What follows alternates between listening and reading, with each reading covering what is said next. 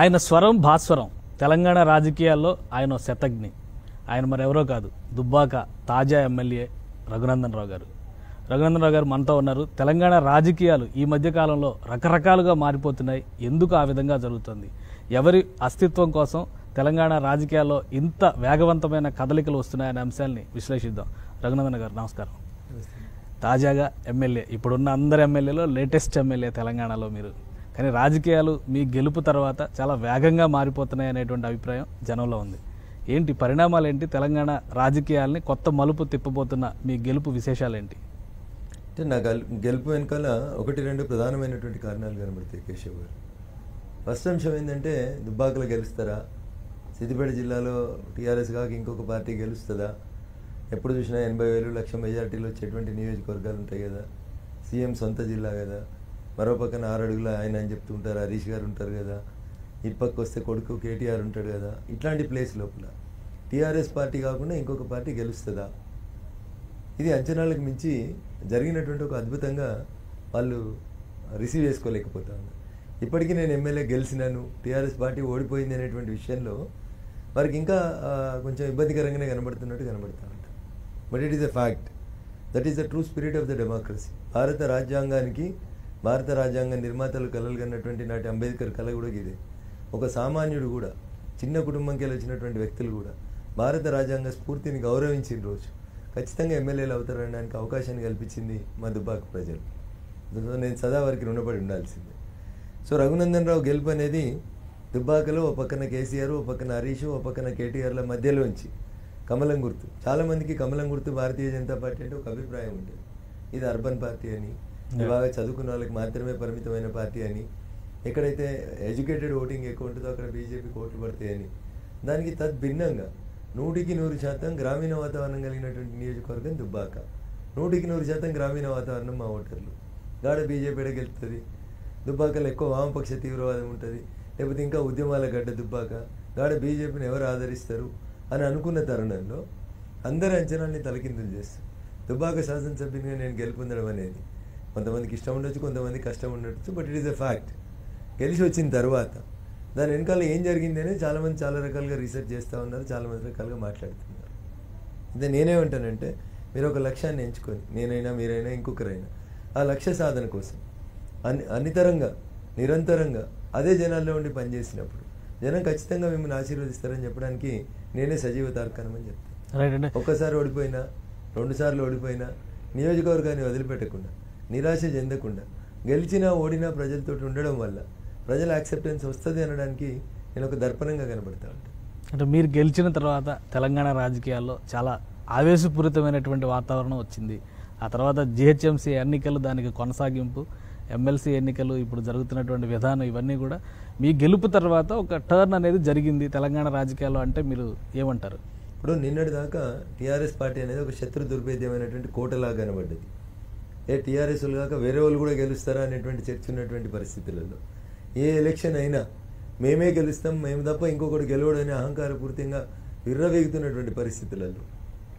అనగదొక్కబడినటువంటి ప్రజలందరూ కూడా ఒక ప్రత్యామ్నాయం కావాలని ఎదురు చూస్తున్నటువంటి తరుణంలో. అనుకోకుండా కలిసి వచ్చినటువంటి దుబ్బాక ఉప ఎన్నికల్లో వీడైతే నిలబడతాడు వీడైతే మా గొంతుకు అవుతాడు వీడైతే ఈ ప్రభుత్వాన్ని ప్రశ్నిస్తాడు ప్రభుత్వానికి వ్యతిరేకంగా గట్టిగా గలం విప్పగలుగుతాడు అని ప్రజలు విశ్వసించారు కాబట్టి. ఇంకా మూడు సంవత్సరాలు మేము అధికారంలో ఉంటాం అని బెదిరించిన. మమ్మల్ని కాకపోతే రూపాయి నిధులు ఇయ్యం మీ నియోజకవర్గానికి అని కుట్రలు చేసిన కుతంత్రాలు చేసిన. రాజ్యం ఎన్ని రకాల హింసకు పాల్పడాలో అన్ని రకాల హింసల్ని ఇండివిజువల్గా నా మీద పాల్పడ్డా. ప్రజలు విశ్వసించింది ఏంటంటే ఇది ఒక తిరుగుబాటు. ఈ తిరుగుబాటు సక్సెస్ కాకపోతే ఇంకా తెలంగాణ రాష్ట్రంలో ప్రశ్నించే గొంతులు ఉండవు. కాబట్టి ఒకడు మాట్లాడేటోడు ఉండాలి. ప్రజాస్వామ్యం బలంగా బతకాలంటే ప్రజాస్వామ్యం పరిడవిల్లాలంటే ప్రతిపక్షం బలంగా ఉండాలనేది the true spirit of the democracy. దాన్ని వీళ్ళు బొందబెడుతున్నారు అట్లా జరగవద్దు ప్రజాస్వామ్యం బతకాలే. అసెంబ్లీ అంటే టీఆర్ఎస్ ఎల్పీ లాగా జరగకూడదు అనే ఒక ఉద్దేశంతో మా దుబ్బాక ప్రజలు ఇచ్చినటువంటి ఒక గొప్ప తీర్పు. సో అక్కడి నుంచి. ప్రజలలో ఒక ఆశ వచ్చింది. దుబ్బాకల్నే రఘునందన్ గెలిచినప్పుడు ఇంకెక్కడైనా మనం గెలవగలుగుతాం అనేటువంటి ఒక విశ్వాసం వచ్చింది. సో ఏ ఆట ఆడినా ఫస్ట్ మనకు సెల్ఫ్ కాన్ఫిడెన్స్ ఉండాలి కేశవ్ గారు. అది ఆట అయినా రాజకీయం అయినా ఎలక్షన్ అయినా. If you don't have confidence on your self you will not win the game నేను గెలుస్తా అని మొదటి రోజు నుంచి చెప్పిన. గెలిచి వచ్చినాను ఆ కాన్ఫిడెన్సే నన్ను నిలబెట్టింది. సో అపనమ్మకాలతో మీరు యుద్ధాన్ని మొదలు పెట్టకూడదు తెలంగాణలో బీజేపీ మత రాజకీయాలు చేస్తోంది. ఈ రెచ్చగొట్టే ధోరణి వల్లనే రకరకాలుగా బీజేపీ తన శక్తుల్ని పెంచుకునే ప్రయత్నం చేస్తుంది. వాటి నుంచి ఆ భావోద్వేగ తరంగాల నుంచి ఈ గెలుపు గీతాలు రాస్తోంది అని టీఆర్ఎస్ నేతలు విమర్శిస్తున్నారు. దుబ్బాకలో దుబ్బాక ఉప ఎన్నిక జరిగినప్పుడు నేను ఏం చెప్పిన అంటే గజ్వేల్కి ఎన్ని పైసలు పోయినాయి? సిద్దిపేటకి ఎన్ని పైసలు పోయినాయి? సిరిసిల్లకి ఎన్ని పైసలు పోయినాయి? లెక్కలు అడుగుంటారు సిద్దిపేటలో డబుల్ రేట్లు ఎట్లున్నాయి? సిద్దిపేటలో డిగ్రీ కాలేజ్ ఉంటుంది పీజీ కాలేజ్ ఉంటుంది జూనియర్ కాలేజ్ ఉంటాయి పది కాలేజీలు ఉంటాయి. ఇంజనీరింగ్ కాలేజ్ ఉంటుంది మెడికల్ కాలేజ్ ఉంటుంది అన్నీ ఉంటాయి. దుబ్బాకలో ఏముండదు ఏం లేని గజ్వేల్కు రింగ్ రోడ్ వస్తుంది. అన్నీ ఉన్న సిద్దిపేటకు రెండో రింగ్ రోడ్ వస్తుంది. ఏం లేని సిరిసిల్లకు రింగ్ రోడ్ వస్తుంది. కానీ దుబ్బాకకి ఈ రోజు దాకా రింగ్ రోడ్ ఇయ్యరు. సో నేను వాళ్ళకి అభివృద్ధిలో తేడాను చూపెట్టినాను నేను అక్కడ. దుబ్బాక నుంచి గెలుస్తున్నటువంటి టీఆర్ఎస్ పార్టీ ఎమ్మెల్యే ప్రభుత్వాన్ని ప్రశ్నించలేకపోయింది కాబట్టి అడగకుండా అమ్మ కూడా అన్నం పెట్టదు కాబట్టి మనకేం రాలేదు. దుబ్బాక వంద పడకల ఆసుపత్రి గజ్వేల్ వంద పడకల ఆసుపత్రి రెండు ఒకటేసారి భూమి పూజ అవుతాయి గజ్వేల్లో వంద పడకల ఆసుపత్రి పూర్తి అవుతుంది దవాఖాన పెడతారు రెండు సంవత్సరాలు అవుతుంది దుబ్బాకలు ఇంకా కడతనే ఉన్నారు ఇంకా నడుస్తూనే ఉంటుంది అది. సి ఇది దుబ్బాక మీద పాలకపక్షం చూపిస్తున్నటువంటి వివక్ష. ఎందుకు వస్తలేవు మనకు పైసలు? అడుగుతలేం కాబట్టి వస్తలేవు. కొట్లాడతలేం కాబట్టి ఇస్తలేరు. కాబట్టి కొట్లాడదాము అన్నాను. కొట్లాడాలంటే పాలకపక్షం కంటే ప్రతిపక్షంగా నాకే ఎక్కువ అవకాశం ఉంటుందో అన్నాను. పోనీ ఇతర ప్రతిపక్షాలకు ఎందుకు అవకాశం లేదంటే అన్ని ప్రతిపక్షాలని. ఈ రాష్ట్రంలో కేసీఆర్ గారు మింగేసారు ఎర్ర జెండాను మింగిండు పసుపచ్చ జెండాను మింగిండు మూడు రంగుల జెండాను మింగిండు బహుజనుల జెండాను మింగిండు. మింగలు పోకుండా అమ్ముడు పోకుండా మిగిలింది ఒకే ఒక జెండా అది కాషాయం జెండా కాబట్టి నన్ను కాపాడుండి అని అడిగిన. నా కోటైంది అని అడిగిన. నన్ను గెలిపియండి నేను మీ పక్కకు ఉంటా అని చెప్పిన. మీ బిడ్డగా నిలుస్తా అన్న. ప్రజలు ఆదరించి.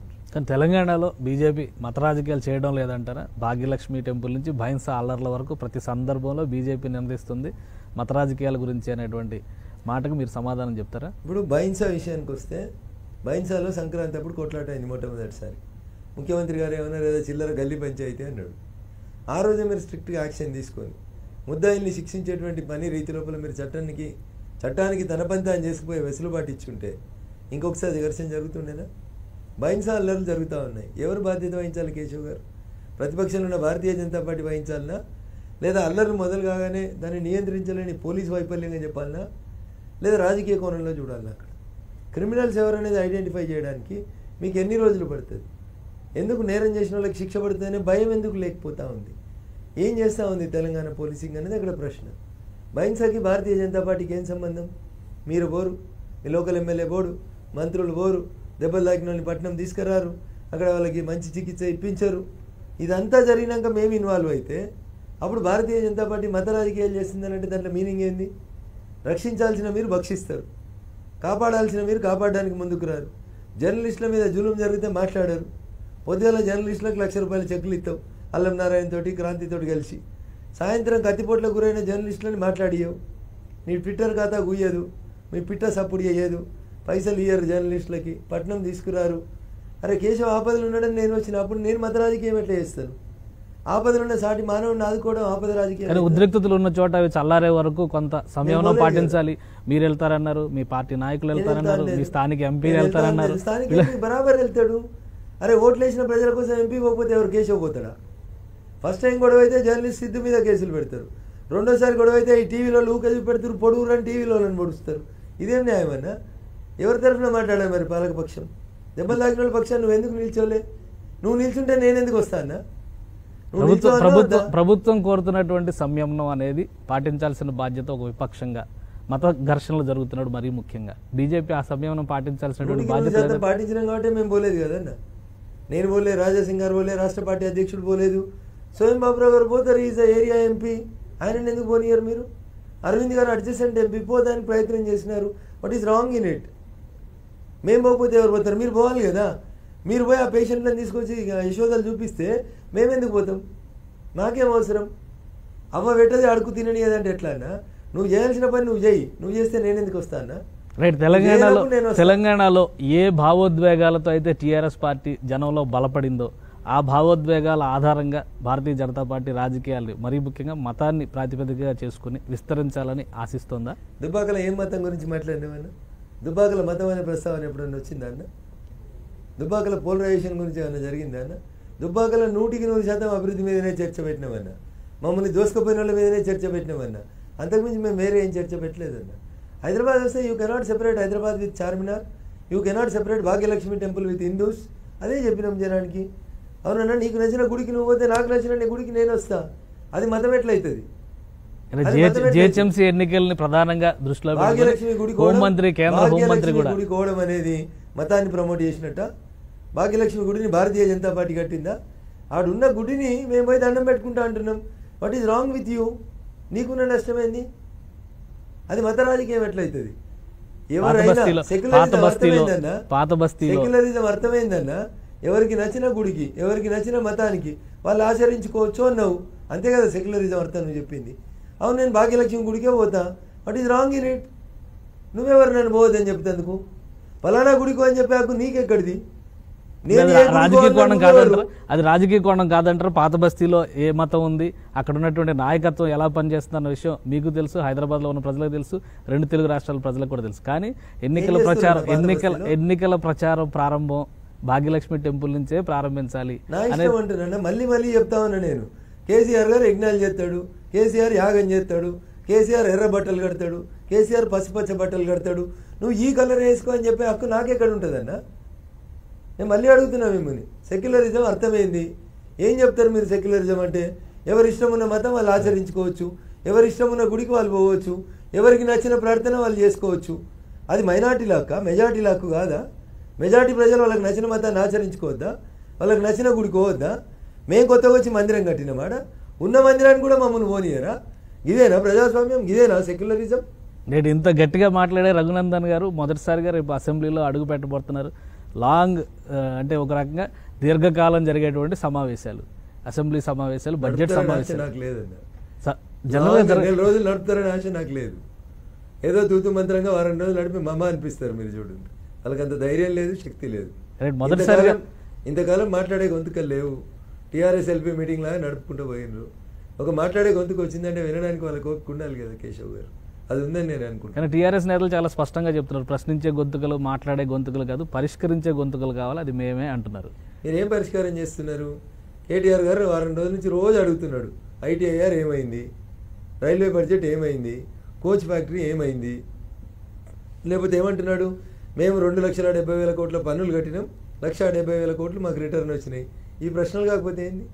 మరి కేటీఆర్ చేస్తుంది ఏంది? నేను అడగదలుచుకున్నా ఆయనని. హైదరాబాద్కి వెళ్ళి పైసలు ఢిల్లీకి పోయినాయి వాపసు వస్తలేవు అని అడుగుతున్నావు కదా? రేపు హైదరాబాద్ వాళ్ళు అడుగుతారు ప్రశ్న. లేదా హైదరాబాద్లో ఉంటున్న ఒక వ్యక్తి అడుగుతాడు. అసలు హైదరాబాద్ కడుతున్న పన్ను ఎంత? నీ గజ్వేలోడు కడుతున్న పన్ను ఎంత? నీ సిరిసిలోడు కడుతున్న పన్ను ఎంత? పన్ను కడితేనే పైసలు వస్తాయా? సిరిసిలోళ్ళు ఎన్ని పన్ను కడుతురు మరి? సిరిసిలోకి రింగ్ రోడ్ ఎట్లా వచ్చింది సిరిసిలోకి పెద్ద పెద్ద రోడ్లు ఎట్లా వచ్చినాయి సిరిసిల్ల పన్ను ఎంత? అంటే ఎవరు ఎంత పన్ను కడితే అంతే వాపసిస్తారా? మరి ఆదిలాబాద్ వాళ్ళు పన్నులు కట్టరు. ఖమ్మంలో పన్నులు తక్కువ వస్తాయి. అయితే నువ్వు డెవలప్ చేయవా? ఏం చెప్పదలుచుకున్నావు నువ్వు? రెండు లక్షల డెబ్బై వేల కోట్లు మేము ఇచ్చినాం. లక్ష డెబ్బై వేల కోట్లే రిటర్న్ వచ్చింది. మరి హైదరాబాద్ వాళ్ళు కూడా అడుగుతారు ఇవాళ అయితే ట్రాఫిక్ జామ్ పొద్దుగాలైతే ఫ్లైఓవర్ లేదు.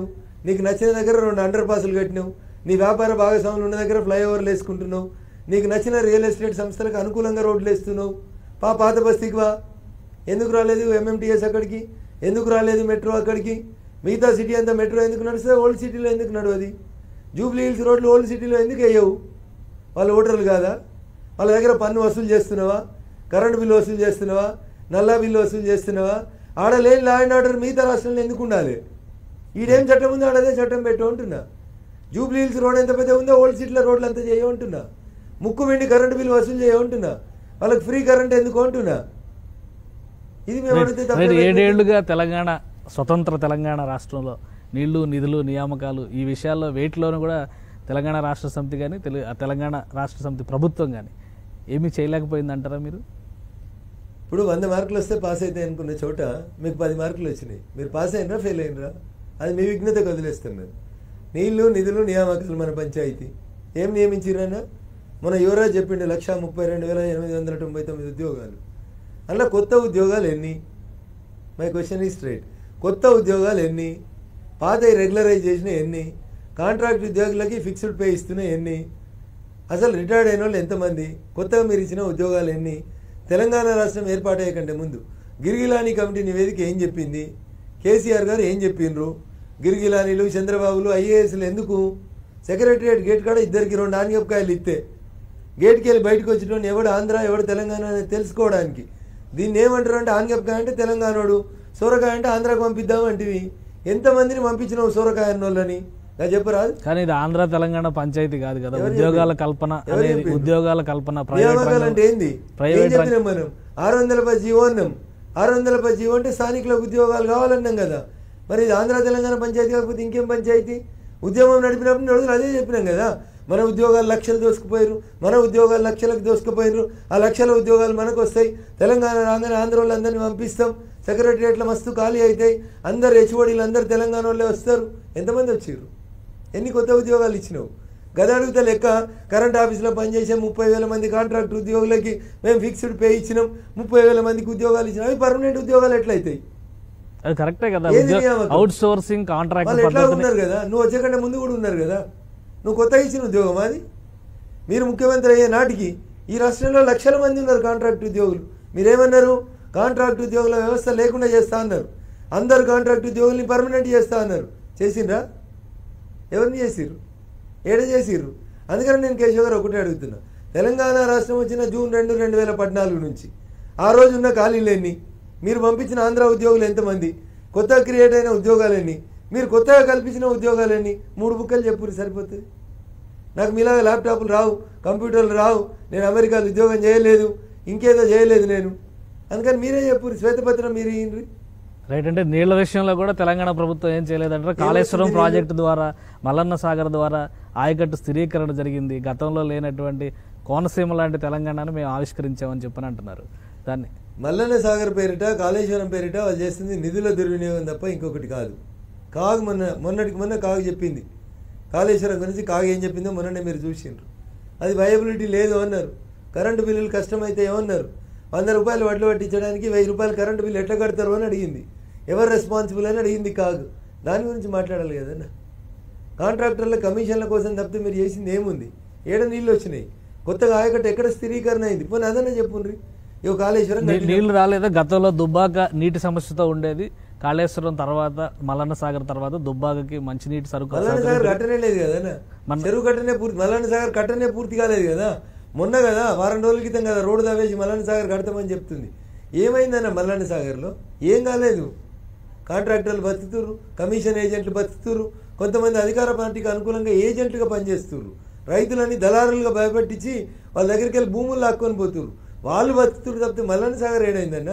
ఏరియల్ చూడు గూగుల్లో సాయంత్రం. ఇంకా మల్లన్న సాగర్ కట్టనే పూర్తి కాలేదు.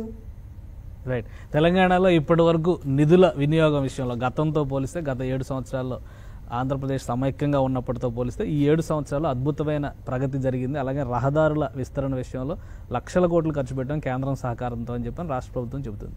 ఇది నమ్మొచ్చా? తెలంగాణ రాష్ట్రం ఏర్పాటు అయ్యేసరికి జాతీయంగా ఉన్నటువంటి జాతీయ రహదారుల సగటులో తెలంగాణ రెండు శాతంతో చాలా వెనుకబడింది. జాతీయ సగటు మూడు ఉంటే తెలంగాణ రెండు శాతం సగటుతో వెనుకబడి ఉన్నటువంటి రాష్ట్రం తెలంగాణ. అప్పుడు కేంద్ర ప్రభుత్వం దగ్గరికి వచ్చి మాకు జాతీయ రహదారులు ఎక్కువ ఇవ్వండి అని అడిగితే లక్ష యాభై వేల కోట్లు ఎక్స్క్లూజివ్గా తెలంగాణలో జాతీయ రహదారులు వేయడానికి ఇస్తే ఇవాళ తెలంగాణలో జాతీయ రహదారుల సగటు నాలుగు శాతానికి పెరిగింది. మరి అది కేంద్రం ఇచ్చింది కదా? నువ్వేదో చెప్తున్నావు కదన్నా. రెండు లక్షల డెబ్బై వేల కోట్లు మేము కేంద్రానికి ఇచ్చినామని మరి ఈ లక్ష యాభై వేల కోట్లు జాతీయ రహదారులకు ఇచ్చిన ఎవరి పైసలన్నా? ఎక్కడికి వెళ్ళి వస్తాయి ఈ పైసలన్నీ? కాబట్టి నోరుతో అవి నొసలతో ఎక్కిరిస్తే సరైనది కాదనేది నా ఉద్దేశం. తెలంగాణ రాష్ట్ర సమితి నేతలు పదే పదే చెబుతున్న వాదనలు ఒకలా ఉన్నాయి. బీజేపీ చేస్తున్నటువంటి ఆర్గ్యుమెంట్లు ఇంకోలా ఉన్నాయి. అయితే వ్యక్తిగతంగా చూస్తే రఘునందన్ రావు గారు పోరాటం కేసీఆర్ మీద తెలంగాణ రాష్ట్ర సమితి మీద ఎందుకంటే గతంలో చూ మీ నేపథ్యం అంతా టీఆర్ఎస్తో ముడిపడి ఉన్నటువంటి నేపథ్యం. సడన్గా మీరు బయటకు రావాల్సినటువంటి సందర్భం వచ్చింది. అలా చూస్తే రఘునందన్ రావు గారు వ్యక్తిగతంగా పోరాడుతున్నారు అనుకోవాలా నిజంగానే ఒక ప్రజల ప్రయోజనాల కోసం ఈ పోరాటం సాగిస్తున్నారని అనుకోవాలా? ఇప్పుడు తెలంగాణ ఉద్యమంలోకి మంచి ప్రాక్టీస్ని వదులుకొని మేము వచ్చిన రోజు మా కోరిక ఏంది మా ఇంటెన్షన్ ఏంటంటే నేను వృత్తిరీత్యా అడ్వకేట్ నప్పటి కోర్టులో రఘునందన్ రావు హాజరే అని పిలిచేటువంటి అటెండర్ ఉంటాడు కదన్నా ఫోర్త్ క్లాస్ ఉద్యోగి. సంగారెడ్డి కోర్టులో కూడా ఉద్యోగం చేసేందుకు శ్రీకాకుళంకి వెళ్ళి వచ్చిన వాళ్ళు శ్రీశైలంకి వెళ్ళి వచ్చిన వాళ్ళు ఫోర్త్ క్లాస్ అటెండర్ ఉద్యోగం చేస్తుంటే జడ్జిల సంగతి వదిలేయండి పబ్లిక్ ప్రాసిక్యూటర్ల సంగతి వదిలేయండి. కింది స్థాయిలో ఉన్న ఫోర్త్ క్లాస్ ఎంప్లాయ్మెంట్లో ఉన్నటువంటి అటెండర్ దగ్గర నుంచి స్టెనో దాకా అంతా శ్రీకాకుళంలో శ్రీశైలంలో వచ్చి ఉద్యోగాలు చేస్తూ ఉంటే గింత న్యాయమేంద్ర భాయ్? రఘునందన్ రావు హాజరే పిలిచే అటెండర్ ఉద్యోగానికి కూడా తెలంగాణోడు అర్హుడు కాదా? యాభై ఏళ్ళ జమైక రాష్ట్రంలో ఒక అడ్వకేట్ జనరల్ తెలంగాణోడు ఉండొద్దా? ఇది తెలంగాణ ప్రాంతానికి జరుగుతున్నటువంటి అన్యాయం అని కొట్లాట మొదలైంది. ఎస్ మనకు అన్యాయం జరుగుతుంది ఒక చదువుకున్న వ్యక్తిగా. దీని మీద గలం విప్పకపోతే ఒక మేధావి మౌనం ఈ దేశానికి ఈ రాష్ట్రానికి నష్టం జరుగుతుందని తెలంగాణ ఉద్యమంలోకి వచ్చినాం. వచ్చిన తెలంగాణ ఎవరి కోసం? ఒక కుటుంబం కోసమా? సమస్యలు ఉన్నాయని పోరాడిన నాలాంటి గొంతుల కోసమా? ప్రాణత్యాగం చేసిన పన్నెండు వందల కుటుంబాల కోసమా? ఎవరికి మేలు జరిగింది ఎవరికి మేలు జరగాలి అనేది ప్రశ్న ఇక్కడ. మేలు జరగాలి ఎవరికి? చనిపోయినటువంటి అమరుల కుటుంబాలకు జరగాలి. ఉద్యమం జరుగుతున్న రోజులు. తెలంగాణ ప్రజల ఆత్మగౌరవ పత్రిక అని చెప్పిన నమస్తే తెలంగాణ పన్నెండు వందల మందిని అమరవీరులుగా రాసింది. మీరు ముఖ్యమంత్రి అయిన తర్వాత నిండు శాసనసభలో ఆ పన్నెండు వందల మంది సంఖ్య నాలుగు వందల యాభై కుదిచ్చిరు మీరిచ్చే పది లక్షలు మీరిచ్చే ఉద్యోగం అనుకోండి ఆ కుటుంబాలకి. పన్నెండు వందలని నాలుగు వందల యాభైకి తగ్గించిన తర్వాత ఏ అమరుల ఆశయ సాధన కోసం అయితే మేమందరం పోరాడినాము. అది నెరవేరినట్టు అన్న? ఈ కొట్లాట అడిగితే అమరుల కుటుంబాన్ని ఆదుకోండి అని అడిగితే అమరుల కుటుంబాలకు పది లక్షల రూపాయలు ఇవ్వండి అని అడిగితే మలిదశ ఉద్యమాన్ని మలుపు తిప్పిన శ్రీకాంతాచారి తల్లిని ఎట్లాంటి ఇబ్బందులు లేకుండా రాజ్యసభకు పంపండి గవర్నర్ కోటా కింద శాసనమండలికి తేండి అంటే ఇది వ్యక్తిగతమైనటువంటి పంచాయతీ ఎట్లయితుందన్నా? అది ఎందుకు డిఫరెన్సెస్ వచ్చినాయి? మీరు టీఆర్ఎస్ టీఆర్ఎస్లో చాలా కీలకమైన పొలిట్ బ్యూరో మెంబర్గా కూడా ఉన్నారు అప్పట్లో. మీరే మీరే ఒక సందర్భంలో చెప్పారు జలదృశ్యం గోడలకి రంగులు వేసిన. అవును అప్పటి నుంచి వాళ్ళు చెప్పాలన్న మేం కాదు. మేము ఎవరికి పోటీ అనుకున్నారు? మా ఎగ్జిస్టెన్స్ వల్ల మీకు వచ్చిన నష్టం ఏమనుకున్నారు? ఎందుకు మాట్లాడేటోళ్ళు ఉండొద్దని ఎందుకు కోరుకున్నారు? ఉద్యమ నిర్మాణ క్రమంలో పదేళ్ళు అరిచిన ఈ గొంతు పదేళ్ళు తెలంగాణ కోసం శ్వాసించిన ఈ గొంతు ఎందుకు మీరు వద్దనుకున్నారు? పదవి ఇవ్వాల్సి వస్తుంది అనుకున్న రోజు వద్దనుకున్నారా? లేదు సూట్ కేసులు తెచ్చేయలేడు కాబట్టి తీసేద్దామని అనుకున్నారా? నీతో జెండా మోసిన వాళ్ళు నీతో అటుకులు తిన్నోళ్ళు నీతో ఆర్డీఎస్ మీద పాదయాత్ర చేసిన వాళ్ళు నీ నిన్ను నమ్మి పదమూడేళ్ళు జెండా మోసిన వాళ్ళు ఎవరు వనికి రాకుండా మాది భక్తు రాజకీయ పార్టీ. నన్ను తిట్టినోడు నా కుటుంబ సభ్యుని తిట్టినోడు నన్ను తాగుబోతు అన్నోడు నన్ను ఫామ్ హౌస్కి వెళ్ళి బగా ఇస్తా అన్నోడు అందరిని తెచ్చి నేను పక్కన కూర్చోబెట్టుకొని మంత్రులు చేస్తా అంటే వైరుధ్యం ఎక్కడుందన్నా? సిద్ధాంతపరమైనటువంటి వైరుధ్యం ఉందా లేదా వ్యక్తిగతమైనటువంటి వైరం ఉందా? నాకు చంద్రశేఖరరావు గారికి వ్యక్తిగత వైరం ఏముంటుంది? ఏ అమరుల ఆశయ సాధన కోసం ఏ బడుగు బలహీన వర్గాల ఆ లక్ష్యం కోసం నిండు శాసనసభలో జూన్ పద్నాలుగు రెండు వేల పద్నాలుగు నాడు ముఖ్యమంత్రి గారు చేసినటువంటి తొలి ప్రసంగంలో గవర్నర్ గారి ప్రసంగానికి ధన్యవాదాలు చెప్పినటువంటి ప్రసంగంలో ఏం చెప్తాడు కేశవ్ గారు? ఈ నూట పంతొమ్మిది కాదు. బయట ఇంకా చాలామంది మేధావులు ఉన్నారు. జర్నలిస్టులు ఉన్నారు అడ్వకేట్లు ఉన్నారు కవులు ఉన్నారు కళాకారులు ఉన్నారు. అందరినీ సంప్రదించి ఏది ఈ రాష్ట్రానికి మంచిదైతే అలా చేస్తా అన్నావు. ఎవరిని కలిసినావన్నా? కవులను కలిసినవా? కళాకారులను కలిసినవా? జేఏసీ నాయకుల్ని కలిసినవా? ఉద్యమకారులను కలిసినవా? ఎవరిని కలిసినవన్నా నువ్వు ముఖ్యమంత్రి అయిన తర్వాత? నీ సొంత పార్టీ వాళ్ళను నీ ఎమ్మెల్యేలని నీ మంత్రులని ఆఖరికి నువ్వు ఏరి కోరి పెట్టుకున్న ఓఎస్డీలను కూడా కలుతలేవని కదా వాళ్ళు చెప్తుంది బయట జనానికి. ఇది సిద్ధాంతపరమైనటువంటి పోరాటం. తెచ్చుకున్న తెలంగాణ. ఈ కాసి నకలపాలు కావద్దనేది మా పంచాయతీ. ఏమొచ్చిందన్న తెలంగాణలో? మీరు నలుగురైనా అనుభవించాల్సింది. మీ కుటుంబం కోసమైనా తెలంగాణ వచ్చింది. వేలాది కుటుంబాలు త్యాగం చేసి వచ్చిన ఫలితం ఒక్క కుటుంబం కోసం అనేది అడుగుతా ఉన్నాం. ఇది వ్యక్తిగత పోరాటం అనుకుంటే వ్యక్తిగతంగా ఆ. కుటుంబంలో ఉన్న వాళ్ళకి అవకాశాలు కల్పించడం కోసం మిమ్మల్ని పక్కన పెట్టారు అనుకోవాలా? ఇది వారు స- బాగుంటుంది అది- అది వారు చెప్తే బాగుంటుంది. అంటే ఆ సందర్భంలో మీరు కూడా చాలా మాట్లాడారు. ఎందుకు మీరు వాస్తవాలే మాట్లాడినాను నేను. ఆ రోజైనా అదే మాట్లాడినా ఈ రోజైనా అదే మాట్లాడుతున్నా రేపైనా అదే మాట్లాడుతాను నేను. నా మాటలో ఎప్పుడు నా స్వరం ఎప్పుడు చేంజ్ కాలేదన్న. నన్ను బయటికి పంపించిన రోజు మాట్లాడిన మాటలే ఈ రోజు అడుగుతున్నా. రేపు కూడా అడుగుతా. అవకాశం ఇస్తే నిండు శాసనసభ వేదిక కూడా నేను తీస్తాను అంటే ఈ పంచాయతీ సిరిసిల్ల సిద్దిపేట గజ్వేలు మధ్యలో మొదలైందని చెప్పని అనుకోవాలా? అది దుబాకలో జరిగినటువంటి అన్యాయం కోసం జరుగుతున్నటువంటి కొంతన్న సిరిసిల్ల రోడ్లు సిద్దిపేట రోడ్లు గజ్వేల్ రోడ్లు చూసి మీరు దుబాక రోడ్లు చూడుండన్న. నా జాగాలు ఎవరున్నా తిరగబడతారు. తెలంగాణ బ్లడ్లోనే తిరుగుబాటు ఉందన్న. నాటి సాయుధ పోరాటం దగ్గర నుంచి మొదలుకుంటే ఈ రోజు దాకా ఎప్పుడైనా తెలంగాణ తిరుగుబాటునే కోరుకుందన్న. మీరు అట్లాంటి తిరుగుబాటు గడ్డ అయినటువంటి దుబ్బాక గడ్డని మీరు తక్కువ అంచనా వేసిరు నెగ్లెక్ట్ చేసిరు ఎడమ చేయకుండా అధ్వానంగా చూసిరు నాగార్జున సాగర్కి కుడి కాలువ ఎడమ కాలువ ఉంటే నాటి సమైక్య పాలకులు ఎడమ కాలువను ఎండబెట్టినట్టు మీరు దుబ్బాకని పండబెట్టే ప్రయత్నం చేసిరు దుబ్బాకలో దుమ్ము రేగుతుంటే మీరు ఆనందపడ్డారు. అవి అది తిరుగుబాటు అన్న. ఆడికెళ్ళి మొదలైందన్న పోరాటం. అక్కడనే ఆ రివల్యూషన్ వచ్చిందన్న. అరవై ఐదు వేల మెజార్టీకి వెళ్ళి పదిహేను వందల మెజార్టీ నాకు వచ్చేదాకా ప్రజలు తిప్పికొట్టిరన్న మిమ్మల్ని. ఇదేదో ఒకరోజు జరిగినటువంటి పోరాటం కాదన్న. మీ అహంకారానికి మీ ఆధిపత్య పోరాటానికి మీరు ప్రజల్ని కలవనటువంటి విధానానికి మీ నిరంకుశత ధోరణికి మీ అప్రజాస్వామిక విధానాలకి మీ అన్ డెమోక్రటిక్ పాలసీస్కి మీ కుటుంబ పాలనకి వ్యతిరేకంగా ప్రజలు ఇచ్చినటువంటి తీర్పు అన్న అంత. అంత పోరాట స్ఫూర్తితో ఉండి మీరు మాట్లాడితే ఎవరైనా మెస్మరైజ్ పోయి అయిపోయేటువంటి స్థితిలో ఉద్యమాన్ని చాలా బలంగా నిర్మించినటువంటి కీలకమైన వక్తల్లో మీరు ఒకరు అలాంటి వ్యక్తిని పక్కన పెట్టే సమయంలో వేసినటువంటి నిందలు అవి ఈ టైంలో ప్రజలు తెలుసుకోవాల్సినటువంటి అసలు ఏ కారణంతో మిమ్మల్ని పంపించారు? మీరు మీరేమని ఫీల్ అవుతున్నారు? ఇన్ని సంవత్సరాల తర్వాత దాదాపు ఇరవై సంవత్సరాలు ఒక చరిత్రను తీసుకుంటే పదేళ్ళు మీ ఉద్యమ ప్రస్థానం దానిలో పూర్తిగా టీఆర్ఎస్తో మిళితమై ఉంది. ఒక రెండేళ్ళ ఒక బహుశా ఒక రెండేళ్ళు మీరు ఇబ్బంది పడి ఉండొచ్చు. ఆ తర్వాత మళ్ళీ కుదురుకొని రాజకీయంగా ముందుకు నడుస్తూనే ఉన్నారు. అంత బలమైన వ్యక్తిని రాజకీయంగా మద్దతు ఉన్నటువంటి వ్యక్తిని బయటికి పంపించాలంటే చాలా ధైర్యం కూడా కావాలి. ఇప్పుడు వాళ్ళ సొంత పార్టీ వాళ్ళ ఇంటి పార్టీ. నేను నా ముసలి తప్ప ఎవరు రాజకీయాల్లో ఉండరని చెప్పి మా సెంటర్లు అందరినీ ఉద్యమంలో ఉరికిచ్చి మేమందరం ఉద్యమంలో నడి సముద్రంలో మునుగుతున్నటువంటి తరుణంలో ఓసారి కొడుకుని తెచ్చి ఓసారి బిడ్డను తెచ్చి నా కొడుకు కూడా ఉద్యోగం చేసిండు నా బిడ్డ కూడా బతుకమ్మ ఆడింది అని చెప్పడం వారికే తగింది అది. వారి సొంత పార్టీ కాబట్టి సొంత నిర్ణయాలు తీసుకోరు. అర్ధరాత్రిని సస్పెండ్ చేస్తారు. పొద్దుగల జాయిన్ చేసుకుంటారు. ఎవరిని ఎందుకు జాయిన్ చేసుకుంటారో తెలియదు ఎవరిని ఎందుకు సస్పెండ్ చేస్తారో తెలియదు ఎవరిని నెత్తికి ఎందుకు ఎక్కించుకుంటారో తెలియదు ఎవరిని ఎందుకు ఎత్తేస్తారో తెలియదు. ఎందుకు రాజాయని తీసిరో తెలియదు. ఎందుకు శ్రీహరిని పెట్టిరో తెలియదు. మళ్ళీ అలా శ్రీహరిని ఎత్తేస్తే శ్రీహరి ఏడున్నాడో కూడా తెలియదు. ఇది పరిస్థితి.